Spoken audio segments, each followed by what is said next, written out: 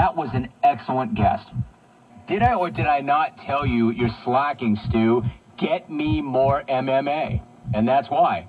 And as we go to break, let me remind you Webmaster James Kelly told us before the interview, just so you fellas know, we get more reaction and more hits off MMA content on jimrome.com and facebook.com slash jimrome than anything else you guys do.